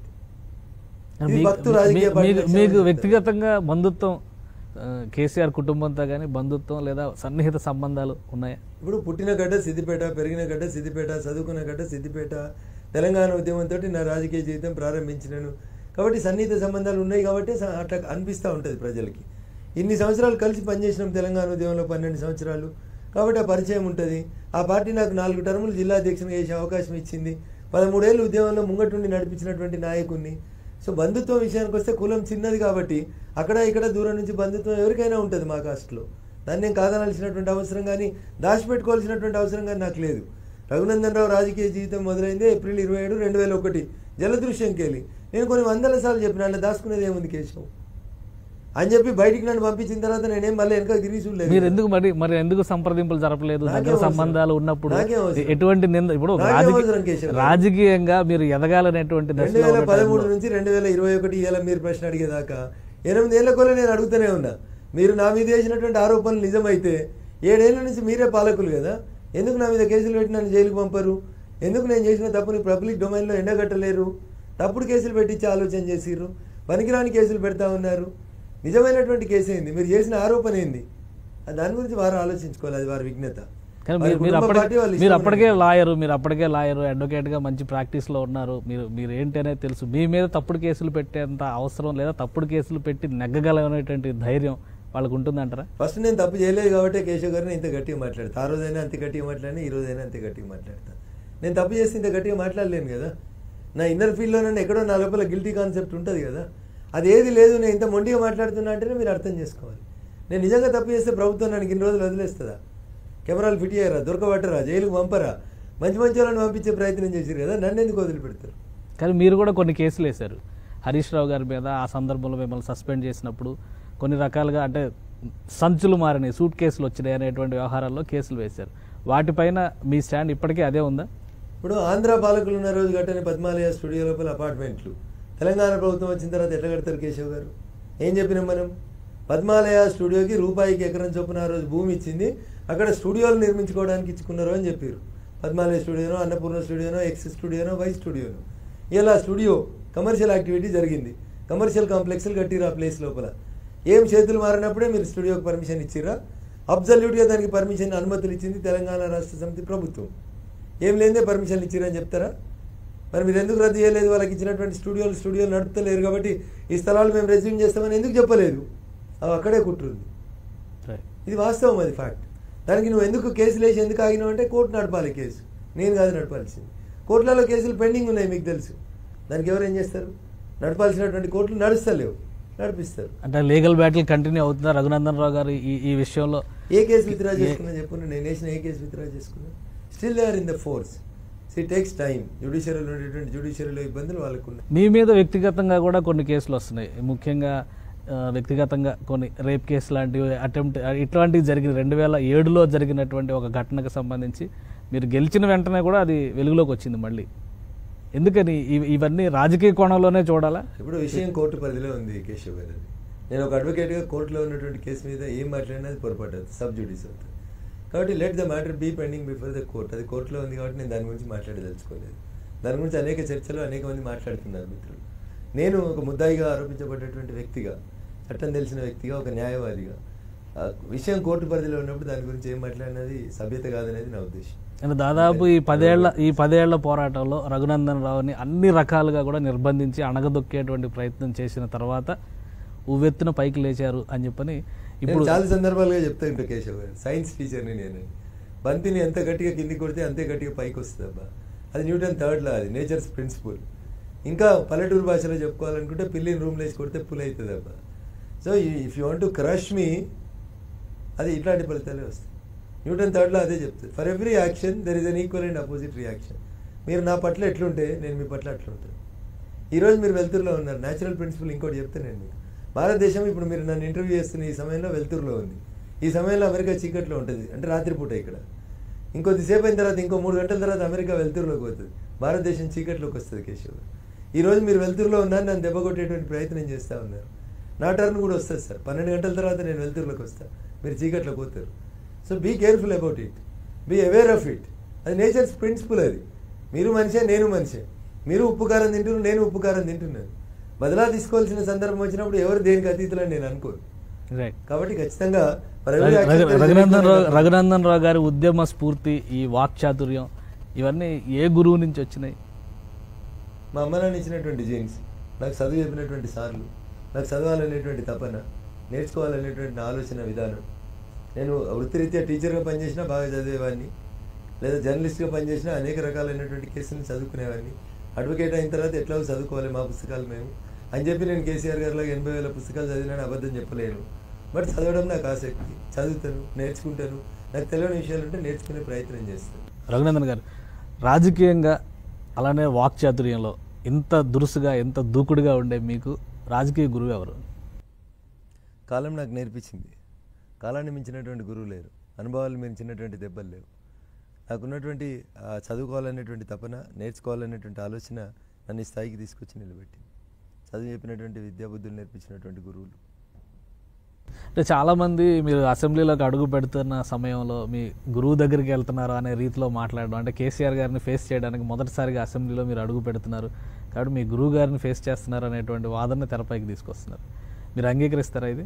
అంటే నేను నా పొలిటికల్ ఎంట్రీ తెలంగాణ రాష్ట్ర సమితి ద్వారా జరిగింది కాబట్టి చాలామంది మిత్రులు మా ఇద్దరి మధ్యలో గురు శిష్యుల సంబంధం ఉందేమో అని అనుకుంటున్నారేమో. మరి అదే సంబంధం నిజమైతే నన్ను అట్లా అర్ధరాత్రి అబ్రప్ట్గా పంపించాల్సినటువంటి అవసరం గురుకుందని ఉందని నేను అనుకోను. సో వారి ఉద్దేశం ఏదైనప్పటికీ కూడా ఆ పార్టీలో నాకు కలిసి పనిచేసి రాజకీయంగా ఎదగడానికి ఒక మెట్టెక్కడానికి ఉపయోగపడినటువంటి పార్టీ టీఆర్ఎస్ పార్టీ. దాని అర్థం నేను ఆయన దగ్గర శిష్యునిగా ఉండాలని ఆయన నా గురువు అని నేను ఎప్పుడు చెప్పలేదు. రెండో విషయం మీకు ఇంకో true spirit of the guru శిష్యుల బంధం గురించి మీరు మాట్లాడాలనుకుంటే గురువు ఎప్పుడు కూడా శిష్యుడు తనను మించినటువంటి స్థానంలో ఉండాలని కోరుకోవాలి. మీరు ఊహించుకున్నట్టు మీరు ఆలోచించినట్టు లేదా కొంతమంది మిత్రులు అనుకుంటున్నట్టు. రఘునందన్ రావుకి చంద్రశేఖరరావు గారికి మధ్యలో గురు శిష్యుల సంబంధం ఉందని అనుకుంటే అనుకుంటే ఒక నిమిషం అదే మాట నిజమని మీరందరూ భావిస్తే నన్ను ఆయన కంటే గొప్ప స్థానంలో కూర్చోబెట్టేందుకు ఆయన నాకు సపోర్ట్ చేయాలని నేను కోరుకుంటాను. రేపు నిండు శాసనసభలో ఆయన ఎట్లయితే మాట్లాడతాడో అట్లా నాకు మాట్లాడడానికి అవకాశం ఇవ్వాలని కోరుకుంటున్నాను నేను. కానీ ప్రాక్టికల్గా ఏం జరుగుతుందో మీరు రేపటి నుంచి చూస్తారు కాబట్టి ఇంకా నేను దానికి సమాధానమో సంజాయిషో చెప్పాల్సినటువంటి అవసరం లేదు. రైట్ తెలంగాణలో ఇప్పుడు జరుగుతున్నటువంటి పరిణామాలు గత ఏడేళ్ళుగా అప్రతిహతంగా టీఆర్ఎస్ పోత దూసుకుపోతుంది. కాబట్టి ఇక వేరే విపక్షమే లేదు అనేటువంటి వాదన వచ్చింది. కానీ బీజేపీ ఒక బలమైన గొంతుగా ఈరోజు నిలబడింది. ఈ ఈ ఈక్వేషన్ అనేది తెలంగాణకి మంచి చేస్తుందని మీరు అనుకుంటున్నారా? ప్రజాస్వామ్యానికి మంచి చేస్తుంది. ఎందుకంటే మొట్టమొదటి పార్లమెంట్ భారతదేశంలో ప్రధానమంత్రి జవహర్లాల్ నెహ్రూ గారు ఈ దేశ తొలి ప్రధానిగా ఉన్నప్పుడు నెహ్రూ గారికి కూడా మీకు వచ్చిన డౌట్ వస్తుంది నాడు జయప్రకాష్ నారాయణ గారు ప్రతిపక్ష నాయకుడిగా ఉంటారు ఊకే ప్రతిదానికి మీరు మమ్మల్ని విమర్శిస్తారు ఒకరోజు ఉండబట్టలేక రెండు సంవత్సరాల పార్లమెంట్ తర్వాత. నెహ్రూ గారు అపోజిషన్లో ఉన్న మీరు మేము చేసిన ఏ ఒక్క పని కూడా మీకు కనబడతలేదా? ఒక్క మంచి పని చేయట్లేదా మేము దేశం కోసం? మంచి అనేది అసలు చేయట్లేదా? ఎందుకు ప్రతిదాన్ని మీరు భూతద్దంలో పెట్టి నెగిటివ్ సెన్స్లో మాట్లాడతారు అని చెప్పి నేను పార్లమెంట్లో ప్రతిపక్ష నాయకుని ఆ రోజు వారు ప్రశ్నిస్తే వారు చెప్పినటువంటి సమాధానం ఏంటంటే మీరు మంచి చేస్తే పల్లాలు జరచడానికి నీ పక్కన ట్రెజరీ బెంచ్లు ఉంటాయి వాళ్ళు ఇచ్చేస్తారు. మీకు అంత సంఖ్య ఇచ్చి మమ్మల్ని పట్టుమని పది మందినైనా ప్రతిపక్షంలో ప్రజలు ఎందుకు కూర్చోబెట్టిరంటే మీ వీపు మీకు కనబడదు. మేము మీ అద్దం. మీరు చేసేటువంటి తప్పులన్నింటినీ మేము మీకు చూపెడతా ఉంటాం. ఈ అద్దం చూసిన తర్వాతనైనా మీరు మీ తప్పుని సరిదిద్దుకోవాలి. ప్రజాస్వామ్యం పరిడవిల్లాలంటే పాలకపక్షం ఎంత గట్టిగా ఉంటే ప్రతిపక్షం అంత గట్టిగా ఉన్న రోజే ప్రజాస్వామ్యానికి పరిడవిల్లుతుంది అని చెప్పి డాక్టర్ బిఆర్ అంబేద్కర్ గారు చెప్తారు. ప్రజాస్వామ్య స్ఫూర్తి అది. పాలకపక్షం ఒకటే ఉండి ప్రజాస్వామ్యంలో ప్రతిపక్షం లేదనుకోండి ఇంకా అంత అహంకారమే కదా విరవి కూడా కదా ఇట్లే ఉంటుంది. రఘునందన్ గారు తెలంగాణ ఉద్యమంలో ఒకప్పుడు ప్రధాన స్రవంతిలో పనిచేసిన నాయకులందరూ ఈరోజు బయట ఉండి మళ్ళీ ఉద్యమం పేరుతోనో తెలంగాణకి సామాజిక తెలంగాణ కోసం బంగారు తెలంగాణ కోసం మళ్ళీ ప్రజాక్షేత్రంలో ఉండాల్సినటువంటి పరిస్థితి వచ్చింది. దీన్ని మీరు ఏ విధంగా అర్థం చేసుకోవాలంటారు? అంటే అధికారంలో ఉన్నటువంటి పార్టీ ప్రజల ఆకాంక్షల మేరకు పనిచేస్తలేదని స్పష్టంగా నిజంగా మీరు ప్రజల ఆకాంక్ష మేరకు పనిచేస్తే మన ట్యాగ్లు అయినటువంటి నీళ్ళు నిధులు నియామకాల విషయంలో ప్రజల్ని జస్టిఫై చేసి ఉంటే ఓటు రాలేదా? రెండోసారి గెలవలేదా? సీట్లు పెరగలేదా అనేటువంటి అంశం పక్కన పెట్టండి. ఓటర్లకు మీరు డబ్బులు ఏ రకంగా ఇస్తా ఉన్నారు? పింఛన్ల రూపంలో ఇస్తున్నారా? రైతు బంధు రూపంలో ఇస్తున్నారా? ఇంకో రూపంలో ఇస్తున్నారా? అన్ఆర్గనైజ్డ్ సెక్టార్ని ఆర్గనైజ్ చేసి ఓట్లు వేయించుకుంటున్నారా? ఇవన్నీ పక్కన పెడితే. పోరాటం చేసినప్పుడు ఏ స్ఫూర్తితో అయితే అందరు కలిసి పనిచేస్తున్నారు ఆ ఆశయాన్ని వైపు మీరు నడుస్తలేరు. ఆ ఆశయాన్ని మీరు ఎప్పుడో పక్కన పెట్టిర్రు. అది భక్తు రాజకీయ పార్టీ అని ఒక స్టేట్మెంట్ ఇచ్చి భక్తు రాజకీయ అవలక్షణాలన్నీ కూడా మీరు అలవర్చుకున్నారు. అందుకని నాడు అనేక రంగాల్లో పనిచేసి లక్షలాది రూపాయల జీతాన్ని వదులుకొని పోరాటం చేసినటువంటి అందరూ కూడా ఈరోజు తిరిగి వచ్చిన తెలంగాణ మనకు ఉపయోగపడతలేదు. మనం కోరుకున్నటువంటి తెలంగాణ ఇది కాదు. కాబట్టి లక్ష్యం వేరే రకంగా దారి తప్పింది. ఆ లక్ష్య సాధన వైపు పాలకుల్ని మలపాలే అనే ఉద్దేశం కొద్దీ తిరిగి అన్ని గొల గలాలు ఏకమవుతున్నట్టు కనబడుతుంది. రైట్ అంటే ఇప్పుడు జరుగుతున్నటువంటి పోరాటంలో తెలంగాణలో చాలా పార్టీలు ఉన్నాయి ఇప్పటికే కానీ షర్మిల గారు అడుగుపెట్టేటువంటి ప్రయత్నం చేస్తున్నారు. వైఎస్ రాజశేఖర రెడ్డి సిద్ధాంతాలు ఆశయాలు దీనికోసం తెలంగాణని ఒక సామాజిక తెలంగాణని ఆవిష్కరిస్తాను అనేటువంటి నినాదాన్ని తెరపైకి తీసుకొస్తున్నారు. తెలంగాణ ప్రజలు ఎంతవరకు ఆదరిస్తారని మీరు అనుకుంటున్నారు? అన్న ఈ దేశంలో ఎవరైనా ఎక్కడైనా ఒక రాజకీయ పార్టీని రిజిస్టర్ చేసుకునేటువంటి వెసులుబాటుని భారత రాజ్యాంగం కల్పించింది. షర్మిల గారు పార్టీ పెట్టడాన్ని దాంట్లో ఎవరు ఖండించాల్సిన అవసరం ఉందని అయితే నేను అనుకోను. At the day same time Telangana ప్రజలు స్వాగతిస్తారని కూడా నేను అనుకోవట్లేదు. ఎందుకంటే రాజశేఖర రెడ్డి గారు ఉన్నంతకాలం తెలంగాణ పట్ల ఏం జరిగింది అనేది అందరు చూసినారు. రాజశేఖర రెడ్డి గారి తదనంతరం తెలంగాణ ఉద్యమం ఎట్లా జరిగింది అనేది అందరు చూసినారు. జగన్మోహన్ రెడ్డి గారు రాజశేఖర రెడ్డి గారు వారసునిగా మానుకోటకు వస్తే ఏం జరిగిందో అందరం చూసినాం. కాబట్టి అవన్నీ ఒక రకంగా మానిపోయినటువంటి గాయాల్ని మళ్ళీ రేకెత్తించినట్టు అవుతాయా లేదా నిజంగా వారు చెప్పినటువంటి రాజన్న రాజ్యం పట్ల ప్రజలు ఆకర్షిస్తులవుతారా ఇదంతా ప్రజాస్వామ్యం అన్న ప్రజాస్వామ్య స్ఫూర్తి. కానీ ఇప్పుడున్న పరిస్థితుల్లో తెలంగాణలో టీఆర్ఎస్ దాన్ని వ్యతిరేకించేటువంటి ఒక బలమైన గొంతుకులా నిలబడి ఆకాంక్షని వ్యక్తం చేసినటువంటి బీజేపీ మినహా ఇక ఏ పార్టీ లేదు అని జనం అనుకుంటున్న నేపథ్యంలో షర్మిల వస్తే మరొక బలమైన గొంతు వస్తుందని చెప్పని భావించవచ్చా తెలంగాణ ప్రజలు అది తెలంగాణ పార్టీ స్వీకరిస్తారని నేను అనుకున్నాను ఆమె నేను నేను ఇక్కడే పుట్టా ఇక్కడే పెరిగా నేను తెలంగాణ ఆడబిడ్డను లేదా తెలంగాణ కోడల్ని ఏది చెప్పినా కానీ ప్రజలు ఆదరిస్తారని అయితే నేను అనుకోవట్లేదు. బట్ కొంత రాజశేఖర రెడ్డి గారికి ఉండేటువంటి అభిమానులు ఉంటారు వారికి ఉండేటువంటి సింపతి వారికి ఉంటుంది. ఆ ఓట్లు ఎంతవరకు షర్మిల గారు మలుచుకోగలుగుతారని చూడలేదు చెప్పలేమని రైట్ అంటే ఇందులో ఒక పొలిటికల్ ఈక్వేషన్ ఏమన్నా ఉందని అనుకుంటున్నారా బీజేపీ నేతలు? ఎందుకంటే ప్రతిసారి బీజేపీ నేతలు ఒక దుబ్బాకి ఎలక్షన్లోనే ఒక ప్రధానమైన ప్రచారం చేశారు. ఏ పార్టీకి ఓటేసినా మళ్ళీ టీఆర్ఎస్లోకి వెళ్తారు. కాబట్టి మాకే ఓటేయండి అన్నారు. అలానే ఇందులో ఏమన్నా రెండు వేల తొమ్మిదిలో రెండోసారి రాజశేఖర రెడ్డి గారు ముఖ్యమంత్రి కావాలనుకున్నప్పుడు అప్పుడు పీఆర్పీని పెట్టించిరు వారే పెట్టించిరు అని చిరంజీవి గారితో ఒక అపోహ విన్నాం అట్లే లోక్సత్తాకి ఫండింగ్ చేసినారని ఇంకొక అపవాదు విన్నాం. అట్లా రకరకాలుగా ఎన్ని రకాలుగా వీలైతే అన్ని రకాలుగా ప్రయత్నాలు చేసి రెండోసారి రాజశేఖర రెడ్డి గారు గెలిచిన తర్వాత ఏమన్నారు? నేను ఇన్ని మంచి పనులు చేస్తే ప్రజలు నాకు ఇచ్చినటువంటి సీట్లు నూట యాభై ఒక్క సీట్లు అనుకుంటా if I'm not wrong subject to correction pass మార్కులు ఇచ్చిర్రు నాకు. రెండు వందల తొంభై నాలుగులో నూట యాభై ఒకటి అంటే పాస్ మార్కులు ఇచ్చిర్రు. ప్రజలు ఎక్కడో నా పట్ల సరైనటువంటి రీతిలో ఓటింగ్లు చేయలేదేమో అనేటువంటి భావోద్వేగానికి వారు లోనైనారు. సో అట్లే ఇప్పుడున్నటువంటి పరిస్థితులలో రెండో టర్మ్ తర్వాత అదే రకమైనటువంటి అసంతృప్తిని ఎదుర్కొంటున్నటువంటి టీఆర్ఎస్ పార్టీ ఏమన్నా? మళ్ళీ కొత్త ప్రయోగం చేస్తుందేమో అనేటువంటి అనుమానం నాలాంటి వాళ్ళకి చాలా మందికి ఉంది. కానీ అంటే ప్రజారాజ్యం పార్టీని ఆ రోజు చిరంజీవి గారి చేత రాజశేఖర రెడ్డి గారు పెట్టించారు అని అనడానికి ఏమైనా ఆధారం ఉందా మంది మిత్రులు అన్నారు. నేను అనలేదు ఈ మాట. మీడియాలో వచ్చిన మాట నేను మీకు గుర్తు చేస్తున్నా. చాలా మంది చేసినారు. కేవీపీ గారు పెట్టించారని రాజశేఖర రెడ్డి గారు ఆత్మ పెట్టించిందని వాళ్ళే ఫండ్ చేసినారని రకరకాలైనటువంటి ఆరోపణలు వచ్చినాయి. నేను ఆరోపణలనే చెప్తా ఉన్నా. నేను చూసినా అని చెప్పట్లేదు. సబ్సిక్వెంట్గా వారు వెళ్ళి కాంగ్రెస్లో మెర్జ్ అయిన తర్వాత ఆరోపణలు కొంచెం బలం చేకూరిందేమో అని అనిపిస్తుంది. రైట్ మీకు మీకు మిత్రపక్షంగా ఈరోజు జనసేన ఉంది. అంటే జనసేన ఉండడం వల్ల తెలంగాణలో ఎటువంటి ప్రయోజనం లేదంటారా? జనసేన ద్వారా తెలంగాణలో ఉన్నటువంటి పవన్ కళ్యాణ్ ఓట్ బ్యాంక్ని లేదా అభిమానుల్ని ఆకర్షించుకునేటువంటి ప్రయత్నం బీజేపీ చేయలేదా? గత ఎన్నికల్లో కానీ దుబ్బాకలో కానీ జిహెచ్ఎంసీ ఎన్నికల్లో కానీ చిరంజీవి గారు గొప్ప నటుడు. At the same time Pawan Kalyan garu కూడా మంచి నటుడు. నటునిగా మీకు ఇష్టపడేటువంటి వాళ్ళందరూ కూడా మీరు పెట్టినటువంటి రాజకీయ పార్టీకి ఓటేస్తారని నేను అనుకోను కేశవ్. నటన వేరు రాజకీయం వేరు. ఆ ఒక బ్యాడ్ ఎక్స్పీరియన్స్ని తెలంగాణ ప్రజలు చూసారు చిరంజీవి గారు పీఆర్పీ పెట్టినప్పుడు పవన్ కళ్యాణ్ గారు లేరా? ఉన్నారు. తిరగలేదా? తిరిగారు. ప్రచారం చేయలేదా? చేశారు. వారి సొంతానికి వారికి ప్రచారం ఉపయోగపడిందో ఉపయోగపడలేదు కానీ మీరు అన్నట్టు రెండు వేల పద్నాలుగులో తెలుగుదేశం పార్టీ రాష్ట్రంలో అధికారంలోకి రావడానికి చంద్రబాబు నాయుడు గారికి బీజేపీ బలం తోడ్పాటు అందించింది. అదే రకంగా జనసేన బలం కూడా తోడ్పాటు అందించిన మాట వాస్తవం. అది చంద్రబాబు నాయుడు గారు ఒప్పుకున్నా ఒప్పుకోకున్నా తెలుగుదేశం పార్టీ పెద్దలు ఒప్పుకున్నా ఒప్పుకోకున్నా ఇట్ ఇస్ అ ఫ్యాక్ట్ అది. సో జనసేనకు ఓట్లు లేవు పవన్ కళ్యాణ్ గారికి ఆకర్షణ లేదని ఇంత తప్పుడు మాటలు అయితే నేను మాట్లాడలేను. Because is a good actor వారికి ఉండేటువంటి మాస్ ఫాలోయింగ్ వారికి ఉంటుంది. ఎంతవరకు వాటిని మనం ఓట్ల రూపంలో మలచగలుగుతాం అనేది సంథింగ్ డిఫరెంట్ అన్న. తెలంగాణలో ఒక ఒక పర్సెంట్ మీ ఎన్నిక తీసుకుంటేనే వెయ్యి ఓట్ల మెజారిటీతో గెలిచారు. నియోజకవర్గంలో ఒక వెయ్యి ఓట్లు ఇన్ఫ్లుయెన్స్ చేసేటువంటి శక్తి జనసేనకు ఉండదా? పవన్ కళ్యాణ్ గారికి ఉంది. జనసేన అని నేను అనను కానీ ఒక నటునిగా పవన్ కళ్యాణ్ గారికి తెలంగాణలో కూడా విస్తృతమైనటువంటి మాస్ ఫాలోయింగ్ అన్నమాట నూటికి నూరు శాతం నిజం. దాన్ని ఎవరు తప్పు పట్టలేరు. మీరన్న వెయ్యింది ఐదు వేలు పదివేల ఓట్లను కూడా వారు ఇన్ఫ్లుయెన్స్ చేయగలిగే శక్తి ఈజీగా ఉంటుంది వారికి. సో నేను వారిని ఎప్పుడు చిన్నగా చేసి చెప్పదలుచుకోలేదు. Janasena Pawan Kalyan garu has a good reputation in the society వారికి కూడా సమాజానికి ఏదో చేయాలనేటువంటి తపన ఉంది ఆవేశం ఉంది ఒక ఆలోచన ఉంది. బట్ పొలిటికల్గా కొంతవరకు వారు ఇబ్బందులు పడుతున్నటువంటి మాట వాస్తవం. మే గాడ్ నోస్ వారికి కూడా మంచి టైం రావాలని వస్తుందని. మాతో కలిసి పనిచేస్తున్న ఈ పరిణామ క్రమంలో మేము వారు కలిసి మంచి ఫలితాలు సాధించాలని కోరుకుంటాం తప్పేం లేదు. రైట్ తెలంగాణలో ఒక రకమైన అటువంటి ఒక గేమ్ నడుస్తుంది రాజకీయంగా ముఖ్యంగా. పైకి కనబడుతూ మిత్రులు కొంతమంది కనబడని మిత్రులు ఇంకొంతమంది. మీరు అన్నట్టుగా ఎవరు ఊహించిన విధంగా కొంతమందిని పార్టీలు సృష్టించేటువంటి ప్రయత్నం జరుగుతుంది. ఎందుకంటే టీఆర్ఎస్ ఎంఐఎం మధ్య ఉన్నటువంటి ఒప్పందమా లేదా లోపాయికారి అంగీకారమా ఏదో ఒకటి నడుస్తుంది. బీజేపీకి మాత్రం మిత్రులు మిత్రపక్షాలు కనబడని స్థితిలో బలమైనటువంటి ఒక పార్టీగా తెలంగాణలో నిలబడగలదని చెప్పని మీరు అనుకుంటున్నారా? అమిత్ షా గారు జాతీయ అధ్యక్షుడు అయిన తర్వాత మాకందరికీ ఒక మాట చెప్పిందన్న.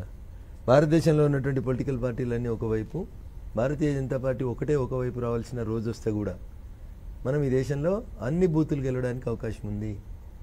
నూరు ఓట్లు ఉన్న చోట యాభై కోట్లు సంపాదించడం ఎట్లా? అవర్ టార్గెట్ ఈజ్ బూత్ నీ బూత్ని నువ్వు గెలువు. నీ బూత్లో వంద ఓట్లు ఉంటే నువ్వు యాభై కోట్లు తీసుకురా. కాశ్మీర్లో ఏమవుతుంది కన్యాకుమారిలో ఏమవుతుంది అనేది వదిలేసి అట్లా మాకు దిశానిర్దేశం చేసిరు కాబట్టి ఇలా కాశ్మీర్ నుంచి కన్యాకుమారి దాకా. ప్రతి రాష్ట్రంలో బీజేపీ బలపడుతూ వస్తుంది ఎందుకు? మేము బూత్ లెవెల్లో పనిచేస్తున్నాం. గ్రౌండ్ లెవెల్లో కార్యకర్తలు బలం ఉన్నటువంటి పార్టీ భారతీయ జనతా పార్టీ. అన్న మిగతా పార్టీల నాయకులను ఉన్నంత సులువుగా భారతీయ జనతా పార్టీలో అసలు కొనడం అమ్మడం అనేది జరగదు.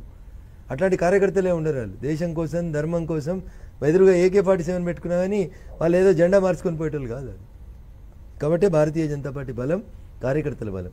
అమిత్ షా గారు జాతీయ అధ్యక్షుడు అయిన తర్వాత ప్రస్తుతం నడ్డా గారి నాయకత్వం లోపల. అనుక్షణం కార్యకర్తలకు దిశానిర్దేశం చేస్తుంది కాన్సన్ట్రేట్ చేస్తుంది బూతుల మీదనే. నువ్వు బూత్ గెలిస్తే పార్లమెంట్ దాకా గెలుస్తావు. కాబట్టి అదే లక్ష్యంగా పనిచేస్తా ఉన్నాం. నేను మళ్ళీ చెప్తా ఉన్నా మీకు. దేశంలో ఉన్న అన్ని రాజకీయ పార్టీలు ఒకవైపు భారతీయ జనతా పార్టీ ఒకవైపు. ఏదో ఒక రోజు ఈ దేశంలో సంఘటన జరిగినా మనం గెలవాలి అనేది మా లక్ష్యం. భారతీయ జనతా పార్టీ నిలబడాలనేది మా లక్ష్యం. కానీ ఆ సంకల్పం నెరవేరేటువంటి స్థితి లేదా ఆ రకమైనటువంటి ప్రజా మద్దతు కూడగట్టుకునేటువంటి పరిస్థితి ఈ రోజు ఉందా? ఒకవైపు నుంచి ధరల పెరుగుదల అలాగే వ్యవసాయ చట్టాల మీద వ్యతిరేకత సిఏఏ మీద వ్యతిరేకత త్రీ సెవెంటీ ఆర్టికల్ రద్దుపైన వచ్చినటువంటి వ్యతిరేకత ఇట్లాంటివన్నీ కూడగట్టుకొని అధికారంలో కేంద్రంలో అధికారంలో ఉన్నటువంటి బీజేపీకి ప్రజా వ్యతిరేకత ఎక్కువగా ఉంది అనేటువంటి వాదన ఈ మధ్య విపక్షాలు తెరపైకి తీసుకొస్తున్నాయి. దీనికి రెండు వేల పంతొమ్మిది ఎన్నికల కంటే ముందు ముందు కూడా ఇట్లాంటివి చాలా చెప్పారు అన్న. బీహార్లో ఎలక్షన్లు వస్తే అవార్డు వాపసీ గ్యాంగ్ వచ్చింది. తర్వాత తుకుడే తుకుడే గ్యాంగ్ వచ్చింది. తర్వాత నోటుబందీ చేస్తే లొల్లి పెట్టిర్రు.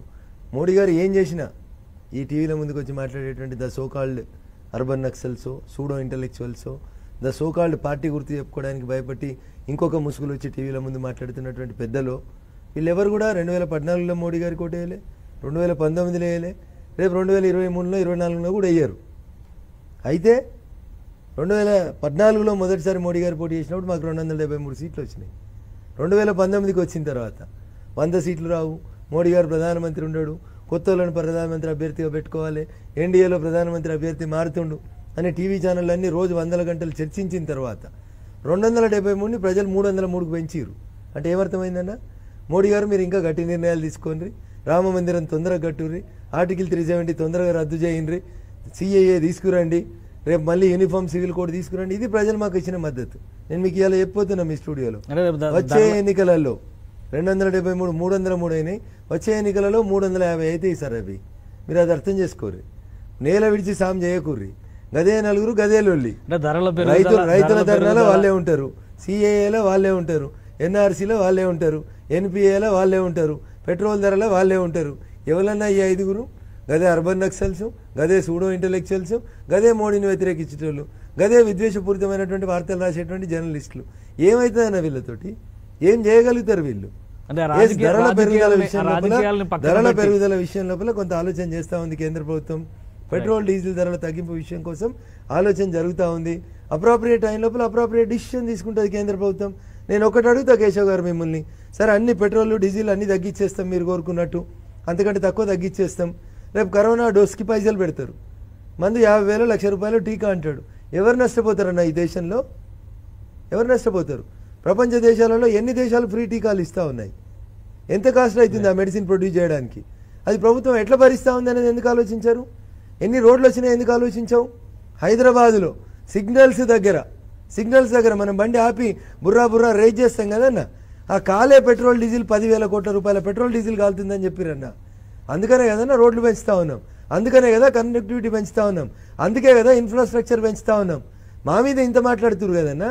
పెట్రోల్ కోసం రాష్ట్ర ప్రభుత్వాలు ముప్పై రూపాయలు వేస్తున్నాయి ట్యాక్స్ బంద్ ప్రజల మీద ప్రేమ ఉంటే ఎందుకు వెస్ట్ బెంగాల్లో తక్కువ అయ్యారు? కేరళలో ఎందుకు తగ్గించారు? తీసేరి state tax you become a role model for the country నన్ను ఎందుకు బదనాం చేయాలనుకుంటున్నావు? నువ్వు నిన్న వేయలే మొన్న వేయలే. రేపు కూడా అయ్యావు నువ్వు ప్రజలు అర్థం చేసుకుంటారంటారా? ఎందుకంటే పెట్రోల్ ధరలు అనేది కేంద్రం స్థాయిలో తీసుకునేటువంటి నిర్ణయాలను బట్టి జరుగుతుంది. రాష్ట్రం వేసేటువంటి పన్నుల వాటా కొంత ఉన్నప్పటికీ ప్రజలు ముందు ప్రైస్ రెగ్యులేషన్ అనేది జరగాలంటే కేంద్ర ప్రభుత్వం జోక్యం చేసుకోవాలనేటువంటి అభిప్రాయంలో ఉన్నారు. వీటన్నిటిని మీరు చెప్పినంత సానుకూలంగా సానుభూతితో కేంద్రం వైపు ఆలోచించి బీజేపీకి ఓటేద్దాం అనుకునేటువంటి వాతావరణం ఉంటుందంటారా? లేదే రెండు వందల డెబ్బై మూడు మూడు వందల మూడుకి వచ్చిందా అన్న? రైతు చట్టాలు వచ్చినాక బీహార్లో గెలవలేదా అన్న మేము అందరికంటే ఎక్కువ సీట్లు ఓట్లు ఎవరికి వచ్చినాయి అన్న? బీజేపీకి వచ్చినాయి కదనే రైతు చట్టాలు వచ్చినాక? వాళ్ళు నిజంగా రైతులని మీరు ఫీల్ అవుతున్నారా అన్న? అదే సీఏ ఎన్ఆర్సీ ఉద్యమంలో ఉన్న వాళ్ళు తలపాగాలు మార్చుకొని చేస్తలేరా అన్న? ఆ పది మంది ఏడైనా ఉంటారన్న వాళ్ళు? ఆ పరాణ జీవులు ఏడిపోయినా అవి పరాణ జీవులు లేవి వాళ్ళకి సొంత అస్తిత్వం లేదు. సొంత జెండా చెప్పుకునేటువంటి చేత కాదు వాళ్ళకి. మంది మీద బయలు ఏడ్చుడు అంతే. రైట్ అంటే ఈ స్పీడ్లో కేంద్రంలో చెప్తున్నట్టుగా జమిలీ ఎన్నికలు వచ్చేస్తాయి త్వరలోనే అనేటువంటి ఒక వాతావరణం నడుస్తుంది. సరే జమిలీ ఎన్నికల గురించి మాట్లాడే ముందర మన తెలంగాణలో ఇప్పుడు ఉప ఎన్నిక ఉంది. నాగార్జున సాగర్ ఉప ఎన్నిక ఒక ఒక స్ట్రాటజీ. తెలంగాణకి ఒక దుబ్బాకతో ఒక ధట్కా ఇచ్చినట్టుగా నాగార్జున సాగర్లో ఏం జరగబోతుంది? భారతీయ జనతా పార్టీ గెలుస్తుంది. దాంట్లో డౌట్ ఎందుకు? ఎప్పుడు ఎన్నిక వచ్చినా ఎక్కడ ఎన్నిక వచ్చినా భారతీయ జనతా పార్టీ ఎన్నికను అంటే గెలుస్తుంది. ఏ విధంగా? అక్కడ అభ్యర్థులు లేరు ఇంకా ఇంకా నిర్ణయం కాలేదు. కొంత కసరత్తు జరగాల్సిన అవసరం ఉందని చెప్పిన రాష్ట్ర బీజేపీ అధ్యక్షుడే కొంత అసంతృప్తి వ్యక్తం చేసినటువంటి నేపథ్యంలో సేమ్ దుబ్బాక స్పిరిట్ నాగార్జున సాగర్లో కనిపిస్తుందా? కార్యకర్తల బలం అన్న దుబ్బాకలో గెలిచిన కార్యకర్తల బలమే రేపు నాగార్జున సాగర్ గెలిచిన కార్యకర్తల బలమే. క్యాండిడేచర్ అనేది బీఫామ్ ఇవ్వడానికి ఒక వ్యక్తి అవసరం ఉంటాడు తప్ప మీకు కార్యకర్తల బలం లేకపోతే ఏ పొలిటికల్ పార్టీ అని ఎట్లా గెలుస్తుందన్న భారతీయ జనతా పార్టీ కార్యకర్తల బలం ఉన్నటువంటి పార్టీ. ఇప్పుడు అక్కడ మీరు అవకాశాలను ఆలోచించి చూడండి. చాలా మంది ఏదో వారు గెలుస్తారు వీళ్ళు గెలుస్తారని చెప్తారు. నేను పేర్లు తీసుకోదలుచుకోలేదు. ఏడేడు సార్లు ఎమ్మెల్యేలు అయిన వాళ్ళు పద్నాలుగు ఇరవై మంత్రిత్వ శాఖలు చేసిన వాళ్ళు అధికారంలో ఉన్నప్పుడు అభివృద్ధి చేయలేని వాళ్ళు ఒక డిగ్రీ కాలేజ్ చేయలేదన్న ఆలియాకి. ఆలయకు ఒక డిగ్రీ కాలేజ్ తెలియదు. నువ్వు ఏడు సార్లు ఎమ్మెల్యే అయితేంది. నువ్వు పద్నాలుగు మంత్రిత్వ శాఖలు చేస్తేంది. నువ్వు ఎన్ని చేస్తేందన్నా? ఏం చేసినా ఊరికి అభివృద్ధి అనేది అడుగుతురు ప్రజలు ఇవాళ అధికారంలో ఉన్నప్పుడు నువ్వు అభివృద్ధి చేయకపోతివి. ఐదేళ్ళు ప్రతిపక్షంలో ఉంటివి. ఆ రోజైనా ప్రశ్నించినవా?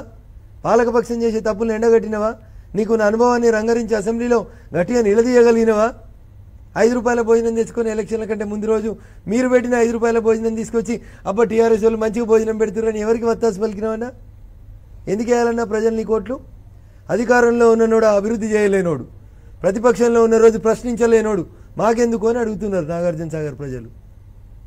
ఇంకేముందన్న పంచాయతీ. కుల్లం కుల్లా ఉంది కదా.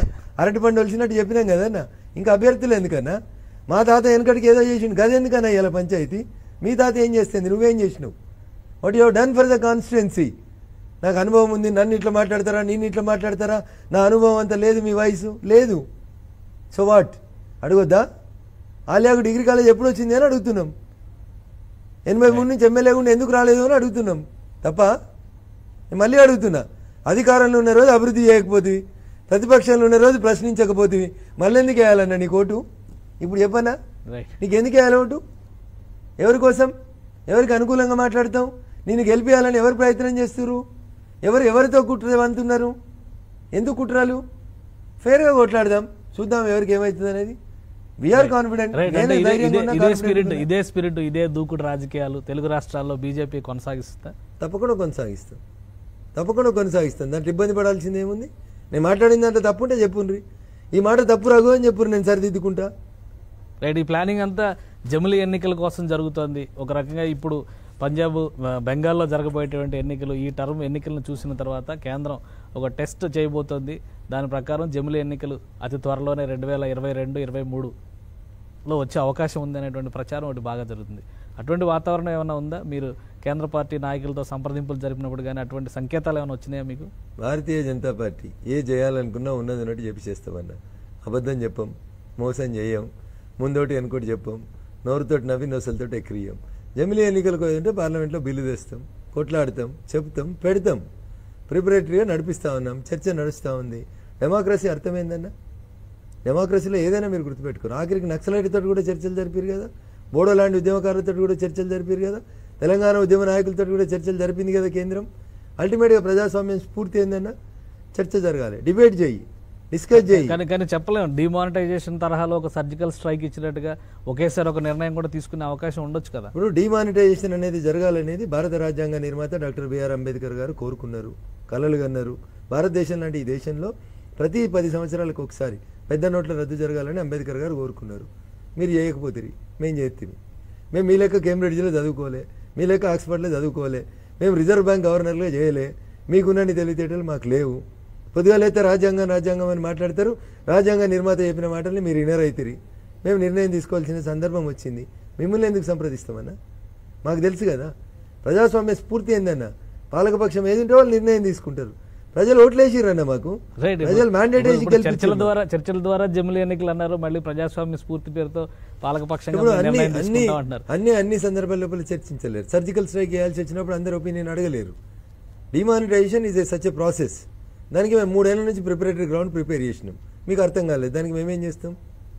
ఒకటే రోజు తీసుకున్న నిర్ణయం కాదు అది మీకు. రైట్ పేదోడికి బ్యాంకుల ఖాతా లేదు బ్యాంక్ ఖాతా ఇప్పించినాం. రెండు వేల పద్నాలుగులో మొదలుపెట్టినాం మేము. డిమానిటైజేషన్కి మొదటి గ్రౌండ్ ఎందుకు? డిమానిటైజేషన్ చేస్తే పేదోడు ఏడికి పోవాలి? అందుకని రూపాయి ఖాతాలు అవసరం లేకుండా జనధన ఖాతాలు ఇప్పించిన ముప్పై కోట్ల మందికి. Almost one fourth of the Indian పాపులేషన్కి bank ఖాతా లేకపోతే బ్యాంక్ ఖాతా ఇచ్చినాం.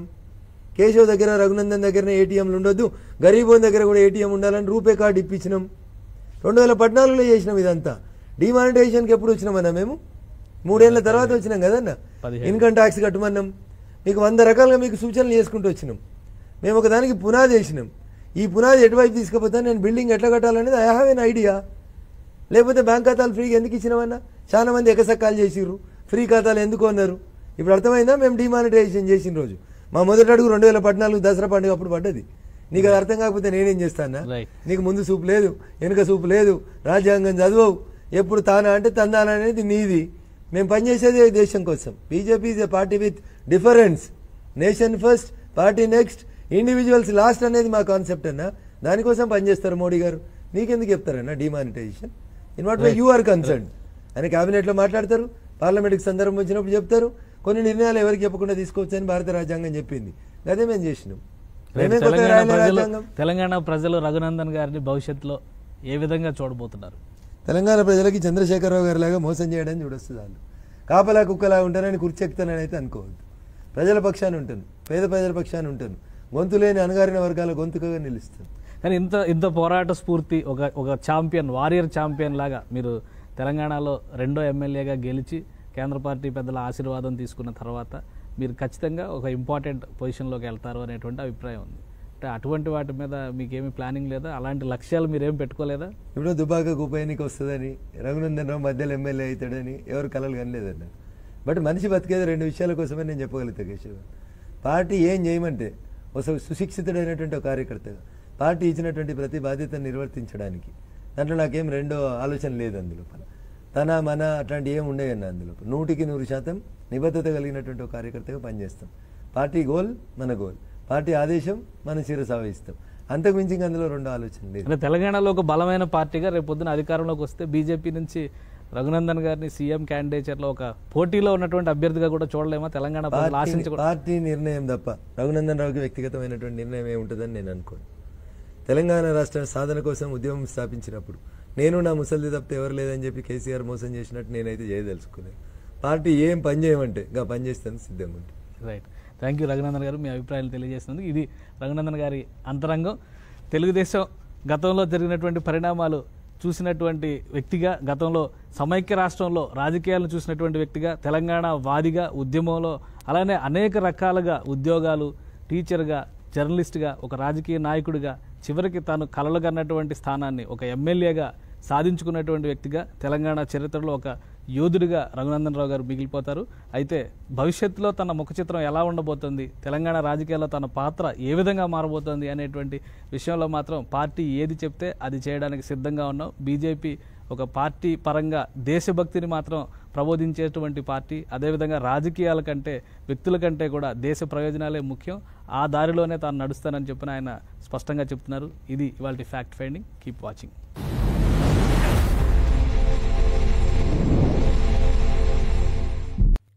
for more updates please subscribe ninety nine TV Telugu.